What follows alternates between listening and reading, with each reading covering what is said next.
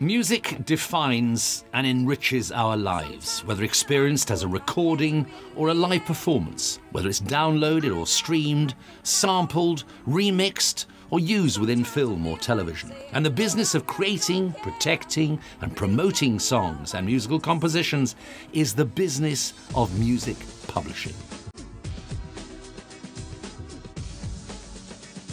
The MPA is a broad church, and we cover every conceivable genre of musical work. Well, printed music is, is one of the oldest forms of exploiting music copyright, typically in, in pop music, but also uh, in classical music and, and in the educational area. It's normal for a, an album or a CD to be replicated in, in printed music format. That would involve transcribing the songs, typically for piano or for guitar, and then selling those books um, either through high streets or uh, online retailers.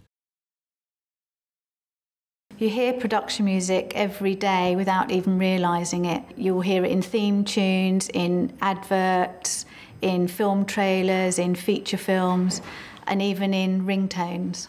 So a production music user signs up to the PRS, uh, the rate card is on their website, and there's an online licensing system, so it's very easy for production music users to find out how much it's going to cost for their production. The advantages of using production music are that it's easily clearable worldwide instantly. The rates are predefined, so it's easy to budget. It's quick and easy to clear.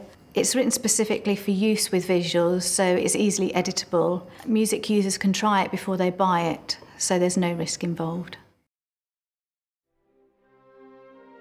Composers write all sorts of music, and so the work that they can create can range from a single individual work for piano through to a, a chamber piece, a string quartet, a large ensemble work, orchestral works, ballets, operas, and as a publisher, we're here to support and nurture them.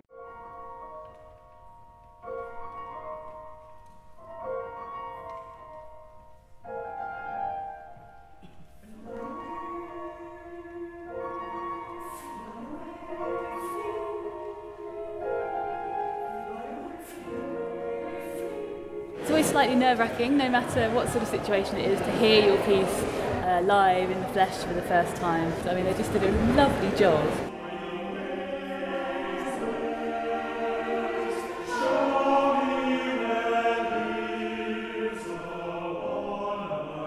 Once the score is finally done, you just have to know, particularly if it's been done by lots of choirs, you have to know that uh, choirs sound different, conductors will interpret things in slightly different ways, and that's well, that's great. You know, you want slightly different interpretations of pieces. It's more fun.